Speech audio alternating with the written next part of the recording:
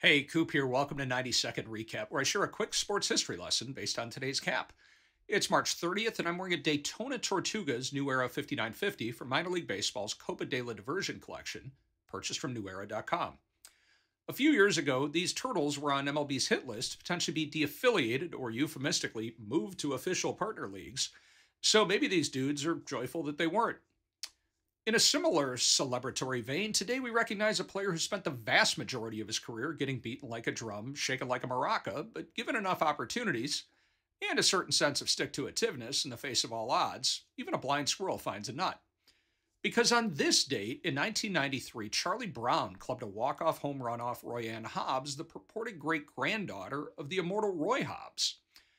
While Chuck was anything but a natural at the sport that he loved so much, he always displayed a growth mindset, willing to put in the time and energy to work on his flaws, exhorting his teammates to trust the process.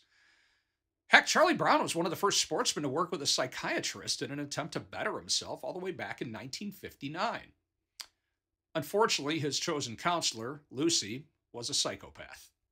When he says he has deep feelings of depression, Lucy tells him to snap out of it. Five cents, please.